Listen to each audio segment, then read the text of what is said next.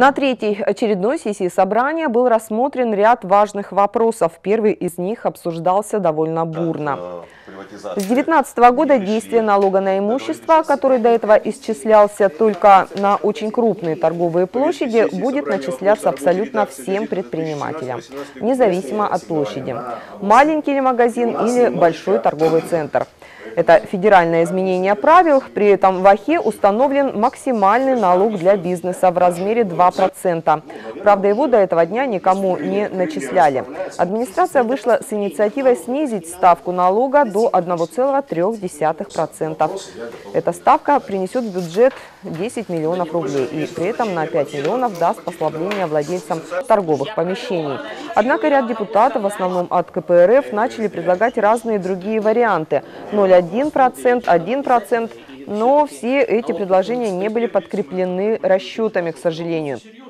На следующий день топливо у Арефьева на заправке, смотрите, 60 и на 2 рубля подкрутили. Это при всем том, что председатель правительства сказал, что ни на копейку никто не поднимет. Разговор о том, что предприниматель, если захочет, он поднимет цены. Это разговор... Да поня... мы не должны давать повод, мы повод не должны давать. Мы повод не должны давать. И никто потом не проверит. Ему налог одна копейка будет на единицу продукции, он поднимет на 5 и скажет, это из-за этого налога все. Провоцировать не надо.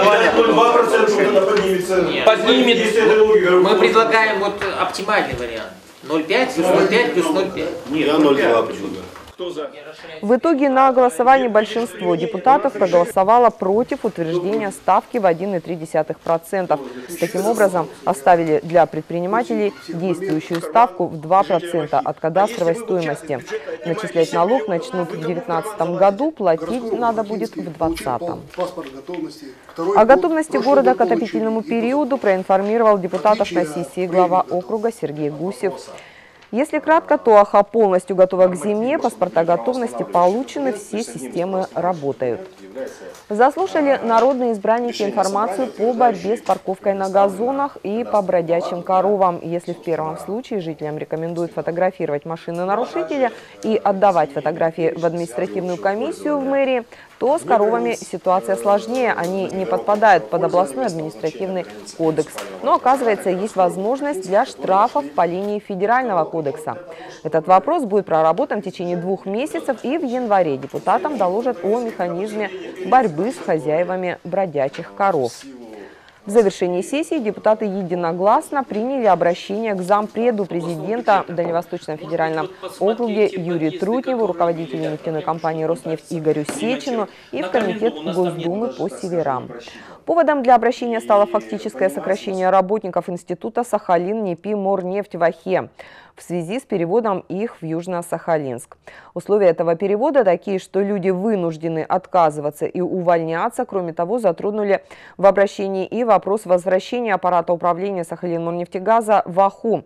В 1900 1999 году он был переведен в Южно-Сахалинск, где нет нефтегазопромыслов и структурных подразделений данного предприятия. В целях прекращения сокращения численности работников нефтегазодобывающей отрасли в городском округе Ахинский убедительно просим вас принять соответствующее решение о возвращении аппарата управления общества «Роснефть Сахалин Морнефтегаз» в Аху для дальнейшей работы по управлению и развитию нефтегазопромыслов непосредственно на местах добычи нефти и газа, пишут ахинские депутаты.